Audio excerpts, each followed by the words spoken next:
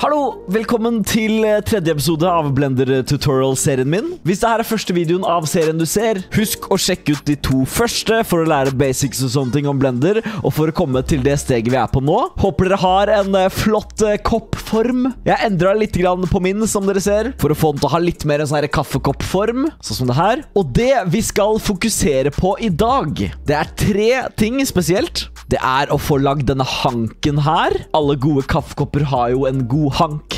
Selvfølgelig. Vi skal også gå fra å ha sånne skarpe kanter som det her, så man ser masse firkanter på koppen vår, til å få det til å bli sånn smooth som det her. Veldig fin og smooth overflate. Og så skal vi gjøre en tredje ting, og det er å legge til tykkelse på koppen vår, for nå er den veldig tynn, som dere ser. Ser nesten ut som en sånn papirkopp. Så det er de tre tingene vi skal gå gjennom i dag. Og det er tre veldig viktige ting for 3D generelt som man bruker kjempemye. Så det her det er en viktig episode. Følg godt med. Take notes. ok, Det første vi skal gjøre, det er å lage hanken vår. Og som dere husker fra eh, forrige episode, så sa jeg jo at det var veldig viktig å ha en sånn flat side langs eh, X-aksen her, eller Y-aksen. En av de aksene, i hvert fall. Her ser vi at vi har en flat side på X-aksen her, og så en skarp kant på Y-aksen. Jeg sa at det var viktig, og det er for at denne episoden her, eller det vi skal gjøre nå, lage hanken, skal være mye lettere. Så jeg håper dere har det. Hvis ikke, sørg for at dere har det. Vi skal lære om et nytt tool i dag som heter Extrude, og det er en av de viktigste toolsa i 3D. Jeg må bare lage en eh, rask sirkel her for å vise hva extrude gjør. Eller en kule. Hvis vi går inn i edit mode på den, og igjen, alt det her har vi gått gjennom i de forrige episodene, hvis du ikke har fått med dere det. Hvis vi går til toolsa her, så er det en av dem som heter extrude, eller extrude region heter det. Hvis vi trykker på den, så ser vi at det kommer opp en eh, sånn her sirkel med et kryss på her. Og hvis vi trykker på en av de sidene her, eller en av facene her, og så drar på det krysset utover, så ser vi at vi lager en sånn herre vi, vi, drar den på en måte ut og lager på en måte sider på hver side her. Vi kan dra det ut og så lage masse sånne høye bokser, på en måte. skal jeg si. Rett og slett, man drar dem ut. Og Hvis jeg gjør det igjen, så ser jeg at jeg lager et kutt her. Så kan jeg gjøre enda en for å lage enda et kutt, osv. osv. Hvis jeg velger siden her nå isteden, så drar vi den ut. Ikke sant? Og plutselig har vi en planet med to store skyskrapere og et enormt flagg, sant? Dere ser det? Vi kan også extrude opp her, og så extrude en gang, enda en gang, og så enda en gang til. Og så extrude disse sidene her ut. Sånn. Så har vi et stort kors, sant? og i tillegg til å extrude utover, så kan man også extrude innover. Da lager man sånn hull innover i uh, kula vår. Så det er veldig good to know. Så extrude det er kjempeviktig, så den skal vi bruke masse i 3D. Og det er den vi skal bruke for å lage hanken vår. Så la meg bare slette den her. Trenger ikke den lenger. For hvis vi går inn på edit mode eh, i koppen vår her, så kan vi velge den plassen vi vil at uh, den hanken skal starte på. Vanligvis så starter den på liksom en av de høyere delene her. Skal vi se på bildet her. Den starter vanligvis ganske høyt og så avslutte ganske lavt sånn på koppen. Så det vi skal gjøre, det er å extrude ut her, ikke sant? Så at vi får en basically sånn her form, på en måte. Og så lage en til, og så extrude den så den går inn igjen på en måte på andre siden her. Men som dere ser, når vi extruder her, så får vi liksom en veldig stor hank. en veldig, veldig tykk hank, og det ser ikke så veldig bra ut. Derfor skal jeg lære dere om enda et nytt tool som heter Inset. Den er rett under extrude her, heter Inset Faces, hvis du trykker på denne her. Og så dra på den gule der så ser du at vi lager en mindre firkant inni den firkanten. Sånn. Og da, hvis vi velger extrude igjen, og så drar den ut, så er det en veldig mye finere form på hanken. Sant? Den er veldig mye mindre. Mer realistisk hanke, ikke sant? Så det er fint. Så yes, extrude og innsett viktige tools. Men jeg sa også i forrige episode at som regel i Blender så bruker man shortcuts istedenfor å trykke på de her. Og shortcuten til extrude, det er E. Så er E for å extrude den ut. Og shortcuten til innsett, det er I. Bam. Nice. Så jeg kommer til å bruke de shortcutene fremover nå. Dere kan bruke Tosa også, men anbefaler å venne seg til å bruke shortcutene. Ok, så vi trykker på I for innsett. Bare lager den på nytt. Så har vi en fin liten form på hanken vår her. Eller en fin liten uh, start, i hvert fall, på hanken. Og så kan vi extrude den ut sånn. Så det er fint. Da kan man lage hanken sin her. Og Jeg skal ta dere gjennom hvordan jeg kommer til å lage den, men først vil jeg vise dere en uh, kul ting. En veldig praktisk ting. Dere har kanskje sett meg gjort det av og til også, uten å liksom forklare hva det er. Jeg føler at nå er en veldig fin tid å lære seg hvordan man bruker det, og det er de ortografiske visningene av modellen vår. Det er et veldig rart ord, sant? Men det det enkelt og greit betyr, er en helt flat visning av f.eks. rett på siden, eller toppen som det her, eller andre siden som det her, en helt flat visning, eller bunnen som det her, istedenfor å ha sånn per perspektivvisning som det, her, eh, som det her er. Man kommer til de eh, ortografiske modusene ved å f.eks. trykke på de forskjellige aksene her. Hvis jeg trykker på Z her, så vil den ta meg rett over ikke sant? og se rett ned på koppen. Hvis jeg trykker på X, så viser den eh, X-aksen, sant? Rett på koppen vår. Og så samme med Y-aksen. Man kan trykke på de, eller så kan man også trykke på numpad 1, 2, 3 osv. 7 numpad, altså de tallene her. Men hvis du ikke har dem, hvis du ikke har numpad-tallene der, så bare bruk, bare trykk på de her. Det er veldig greit. Ok, så nå vil jeg at du skal gå i sidevisningen her, på Y-aksen for min del. Kanskje det er på X-aksen for dere, men for meg er det på Y-aksen. Da er det mye lettere for meg å forme hanken akkurat som jeg vil, sant? Dere ser det? Så hvis jeg har den siden her selected, og så går i Y-aksen her, sånn, så kan jeg flytte på den, sånn at den går litt oppover, sånn som en hank vanligvis gjør. Hvis vi ser på bildet igjen. En hank går ofte opp, og så ned, ikke sant? Opp, og så en rund form, og så ned, og så, en, og så inn i koppen igjen. Så ok, da kan vi bare extrude på nytt den facen der, og så kan vi rotere, sånn her, med R. Så extrude på nytt og rotere, ikke sant? Dere skjønner hva jeg gjør? Bare forme hanken vår akkurat som vi vil ha den her. Og jeg gjør det ikke så veldig nøyaktig nå, for jeg kan uh, alltids endre på det etterpå. Men sånn. Og så ikke ta den helt inn i koppen ennå. Jeg skal vise dere hvordan man uh, liksom setter den inn i koppen igjen. Det skal jeg vise dere veldig snart. Først vil vi lage hanken vår akkurat som vi vil ha den. Hvis vi trykker på to for å gå inn i Edge Selection, så kan vi velge disse sidene rundt her. Og så kan vi gå inn i uh, ortografiske siden igjen på Y. Så kan vi skalere dem litt. Jeg syns den er litt tjukk fortsatt, så jeg bare skalerer den ned litt og flytter på den litt. Et lite tips istedenfor å trykke på alle de rundt her, og så selekte alle sammen med skift sånn, istedenfor å gjøre det Jeg skal bare ta på screencast key, så dere ser hva jeg trykker på. Men istedenfor å gjøre det, så kan dere holde inn alt, og så trykke på den. Da selekter den alt rundt automatisk. Det er veldig fint. Så hold inn alt-knappen og trykk på en av sidene, så selekter du hele eller sånn edge-loopen rundt, da, som det heter. Så skalerer vi den ned, bare posisjonerer den akkurat som vi vil ha den. Sånn. Skalere med S. Sånn, nå begynner vi å få en ganske fin hank her. Og hvis det her skjer, hvis du flytter på den og så ser at det er igjen ting oppå der, så betyr det at du ikke har selekta alt sammen. Så da må du holde inn alt, og så trykke på den på nytt. Ok, sånn. Føler at jeg snart er ferdig med hanken min nå. Og prøv å ha så få som mulig sånne her kanter. Hvis du har veldig mange kanter, som eksempel sånn her, og så massevis Nå bruker jeg bare eh, loop-cutten for å vise. Hvis du har massevis av sånne kanter som det her overalt på hanken din, så er det veldig vanskelig å gå inn og så forme den eh, på en måte på nytt. Det er liksom, det tar veldig lang tid. Alt det kommer til å ordne seg når vi smoother den ut etterpå. Så bare ha ganske få sånne her edge loops rundt den, så kommer dere til å skjønne etterpå hvorfor det er praktisk å ha veldig få, når jeg viser hvordan man smoother det ut. Ok? Men yes, vi har fortsatt et lite problem her, og det er jo at hanken vår Den sitter jo ikke fast i koppen på andre sida her. Det vi gjorde på toppen her for å starte hanken vår, det var jo å innsette den facen her for å lage en mindre eh, plass som vi kan dra ut hanken fra. sant? Det samme vil vi gjøre under her, på den facen her, for å lage en plass hvor vi kan feste hanken den på. ikke sant? Vi kan feste den til de hjørnene her, men da vil den bli veldig brei, sant? så vi gjør den litt mindre med innsett sånn.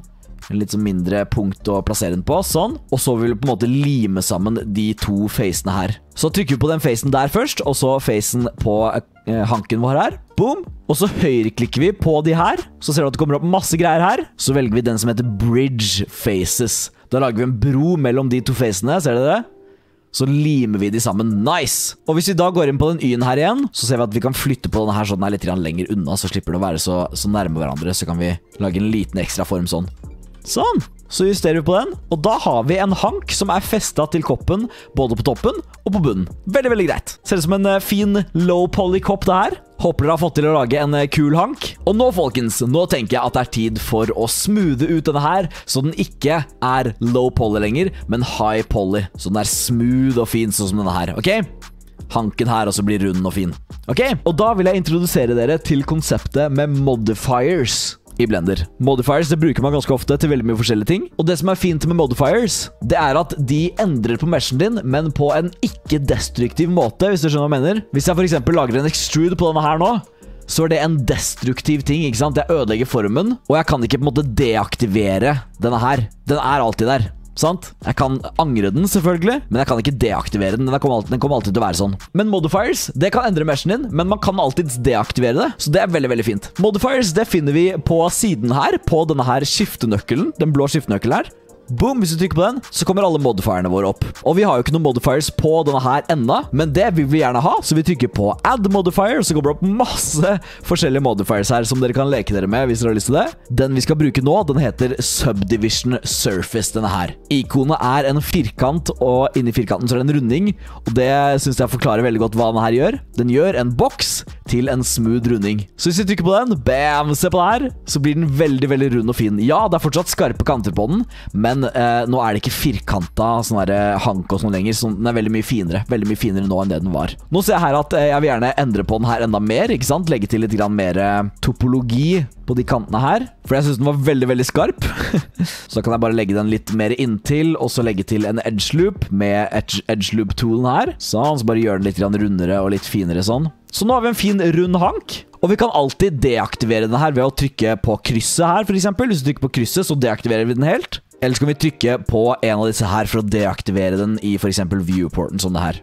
Bare for å deaktivere den sånn midlertidig. På den subdivision modifieren her, så er det litt forskjellige tall og litt forskjellige knapper. Bare behold den på Catmull Clark. Det er den som gjør at det blir veldig fint og smooth. Hvis du har den på simple, så bare er den fortsatt skarp. Men vi vil at den skal være smooth, så vi har den på Catmull Clark. Og her er det to viktige tall. Det er levels viewport. Og så er det levels i render. Det er en viktig forskjell mellom de to. Det her, det er jo viewporten vår, sant? Så hvis vi øker den til f.eks. 2 så ser du at den blir enda smoothere hvis du øker den til 3. Så blir den enda smoothere enn det igjen. ikke sant? Den blir kjempefin og smooth. For koppen vår så er 2 mer enn bra nok. Den ser fortsatt skarp ut. Vi skal fikse, vi skal fikse. Men 2 er mer enn bra nok. Vi trenger ikke opp til 3, for den er fortsatt, den er fortsatt nesten helt lik form. Så 2, det er veldig fint. Render, det står for hvor mange sånne her leveler vil vi at den skal gå når man rendrer ut bildet vårt, og det er et konsept som vi skal komme tilbake til senere. Men det er basically Ok, jeg vil gjøre dette her til et ferdig bilde, sånn som det her. Ikke sant? Å få det fra 3D-programmet til et ferdig bilde. Det er rendring. Så det i render her, det betyr hvor mange ganger vil vi subdivide den når vi rendrer det. Og for vår del så er to veldig greit her også. Men ok, nå. Den ser fortsatt skarp ut i kantene, Emil. Ta det med ro. I know what I'm doing. Fordi hvis vi går inn i object mode og så trykker på tingen vår, koppen vår, høyreklikk på den og velger shade smooth, så trykker på den, bam. Der. Nå er den fin og smooth. Ser dere det? Stilig. Jeg ser at det er noe rart med denne kanten her, og når det skjer, så er det som regel fint å bare slette det og så gjøre det litt på nytt. Akkurat det her, i hvert fall. Så bare mens vi holder på med det, så kan vi deaktivere den ved å trykke på den TV-en her. Så at vi ser det i low poly view igjen. Men nå er jo dette her et hull, ikke sant? Så vi kan fylle den inn ved å selekte de kantene her, og så trykke på F. Da fyller man den inn igjen. Så gjør man det samme her. Sånn. Så selekter man de to, og så høyreklikk, og så bridge faces, sånn som vi gjorde. Og nå forhåpentligvis så ser den grei ut. Yes, der ja. Nice. Sånt kan skje. Det var sikkert noe feil jeg gjorde, men uh, man kan fikse det lett, så det er ikke noe problem. Ok, så det er en viktig forskjell. Hvis vi velger shade flat, så kommer vi tilbake til sånne firkanter, og det er oftest lettest å jobbe med uh, figuren sin når den er i shade flat, det syns jeg i hvert fall. Fordi da ser man alle kantene og alle hjørnene også veldig godt. Men shade smooth, da ser den litt bedre ut. Men du spør kanskje ja, men kan vi ikke gjøre det uten denne her? Kan vi ikke bare deaktivere den, og så høyreklikke på den, og så velge shade smooth? Jo, man kan det, men som dere ser så er den fortsatt veldig veldig firkanta og blocky og sånn. For denne her, Shadesmooth, den legger ikke til noe eh, geometri. Den bare smoother ut på en måte litt avansert. Den smoother ut som normals på det, så at lyset treffer litt annerledes og sånne ting. Det er bare sånn kunstig smoothness, på en måte. Så for å få ordentlig smoothness, så velger vi Subdivision Surface. Setter den til to, for eksempel. Og så Shade Smooth. Bam! Der har vi en flott, flott kopp. Nå ser jeg at jeg syns tanken min er litt rar, så jeg går inn i edit mode igjen, og så kan jeg endre litt på dem.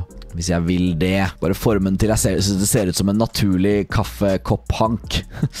Ok, sånn. Skal ikke bruke så mye tid på det nå. Det ser greit ut. Så da har vi eh, koppformen vår. En annen ting jeg vil vise dere. Hvis vi går inn i sideview her nå, den der y-en her, ikke sant, som jeg viste dere så ser dere at koppen vår nå er den rund under, ikke sant? fordi den er smootha ut. Hvis jeg trykker på den igjen, så ser dere at den er flat, men hvis jeg aktiverer subdivision, så blir den rund igjen. Og det er en greie med subdivision. Den, den runder jo ut alt sammen, sant? Så hvis vi vil at den skal bli runda ut mindre, så må vi gå inn i edit-mode her, og så må vi legge til mer detaljer under her. Så hvis jeg, hvis jeg trykker og lager en edge loop her nå, og så drar den opp på den, så ser dere at den blir mye flatere og flatere, sant?